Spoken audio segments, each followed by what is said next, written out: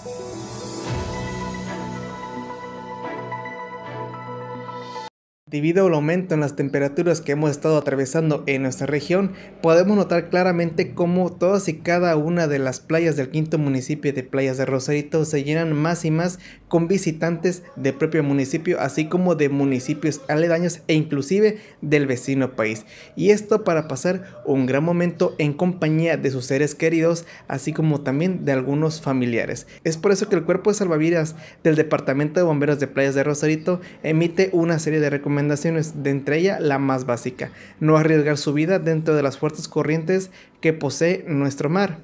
ya que eso significa una actividad de riesgo elevado, así como también acudir a las playas en las cuales se encuentran torres de vigilancia de los propios salvavidas del cuerpo de bomberos, y eso para no arriesgar su vida de manera irresponsable. Así también empleados de Sofemat piden encarecidamente a los visitantes depositar la basura en los botes que para ello están destinados e instalados a lo largo y ancho de nuestras playas. Y esto es debido ya que cada día están retirando de las playas por lo menos 3 toneladas de basura, lo que significa que no estamos haciendo suficiente conciencia social y seguimos tirando desmedidamente basura en la faja marítimo terrestre, lo que sin lugar a dudas eleva los niveles de contaminación dentro de nuestras playas. Es por eso que si usted acude en compañía de su familia o sus seres queridos a nuestras playas, háganos el favor de tirar la basura en su lugar o llevársela a su casa y esto para mantener las playas limpias en nuestro municipio de Playas de Rosarito, que es el principal atractivo turístico que tenemos